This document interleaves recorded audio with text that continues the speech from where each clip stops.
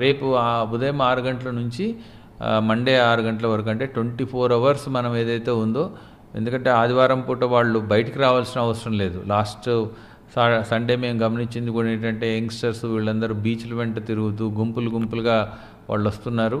And మనకి ఇప్పుడు hit rate చూస్తే కూడా జిల్లాలో వ్యాప్తి చెందిన రేట్ వంటి చూస్తే కూడా ఇప్పటివరకు టెన్ పర్సెంట్ ఉంది.